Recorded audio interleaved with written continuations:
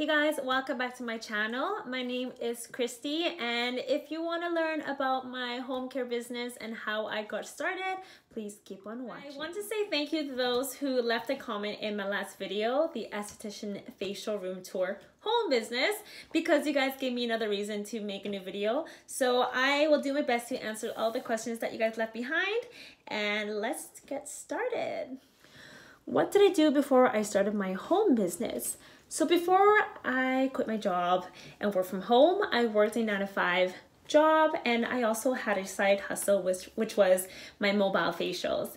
So I would take clients in the evenings and on the weekends and that was my way to get exposure and also get my name out the door because I was, you know, just a single esthetician by myself. I didn't want to quit my full-time job because sometimes you're not busy all the time. So having that full-time job with the mobile business uh, was a great way for me to make more money and also save money to eventually purchase my equipment, my linen supplies, and also the products that you would need to start up the business. Some of you guys also asked, um, where did I purchase my steamer lamp and hot towel cabinet from? So I purchased those two items from um, Kingdom Beauty, which is a Canadian professional spa salon supplier. Uh, because it's based in Canada, I don't know if they ship to the US, but I'm sure in the US you guys will have your own type of supplier. Um, but as long as you have your business license, certificate, or diploma, you should be able to make wholesale purchases for those two equipment. And they are definitely great investments. How do you build clientele for your home business? So when I was first starting out my business by doing mobile facials, I had a Instagram page but no content. So the first thing I did was to offer free facials for my friends and family. So one, they get free treatment and two, in return, you get pictures and videos. Whenever you do have that opportunity, take a lot of photos and videos as much as you can so that you can post all that content on your social media outlet. Another way how you can build more clientele is to collaborate with local artists or other professionals in your area like um, RMTs, lash artists, brow artists, lip artists, nail artists, and swapping services with them. So that the next time they're with their customers, the topic of having facials can come up and they can bring up your business and share your social media account. And bam, there's a potential customer. When you are building your business and building clientele, it's really important to utilize Facebook and Instagram to its full potential because that's free marketing for you. So making sure you do consistent postings of videos or quotes or whatever you like. Um, just make sure that you're in people's news feeds one thing that I learned is that it's okay to use recycled content because the person who saw the post um, who saw the post from this week might have missed last week. So that's something that you can also do.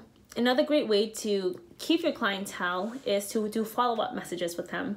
So if you did a facial peel or a treatment, I like to text or email my clients a couple days later just to follow up and see how their skin is, if they enjoyed their experience, or if you had if you left off at a conversation about you know purchasing products you can follow up with them to see if they did purchase it um, and find out um, you know find out what other help they may need or just checking in with them to see if they're you know keeping up with their skincare routine at home so follow up is very important because it shows you care.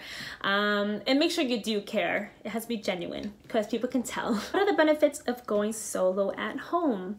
So of course, going solo is one, I'm always at home.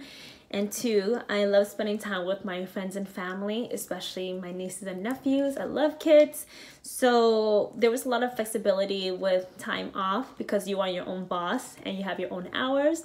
And because working from home, I do take clients random times of the day, which is totally fine uh, because you're at home. You get to save a lot of money on gas, um, save time from taking transit or driving as well. So I love that because my previous job, I had to travel to another city, which is an extra two hours in a day just to get to and from work. If you are starting a home business and you are looking for a skincare line to use in your services, I recommend doing research and see what kind of skincare lines are available for you to purchase for professional use. Attend trade shows or events so that you can meet with the representative from the company. Um, once you get in contact with them, I recommend asking for samples, see if they can send you some information about their company, um, or if there's like a minimum purchase for their um, products for professional use. Uh, get as much information as you can before you make an investment for this business because the worst thing you can do is invest in a line that you don't like, but you already bought it and be stuck to using it. So it's really nice to try out the products on yourself because ultimately you're the one that's making the decision. And if you like the products, you are more inclined to sell or recommend these products for the clients that um, the next time they come and see you. Another tip I like to give to new estheticians who are starting up a home business is to be patient and consistent with your postings. So posting on Instagram is something I do struggle with still till this day. Um, it's because I care so much of my page content because everybody loves aesthetically pleasing pages.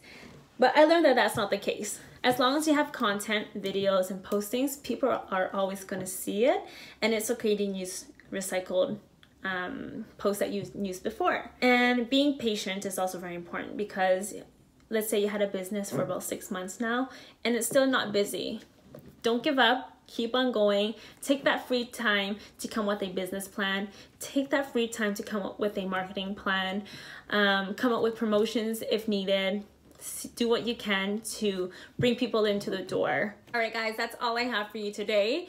If you have any more questions about starting a home business, please leave a comment below. And if I do gather enough questions, maybe I'll do a part two. But other than that, thank you so much for watching my video. Thank you so much for your time. Make sure to like, subscribe to my channel for more videos like this in the future. Bye!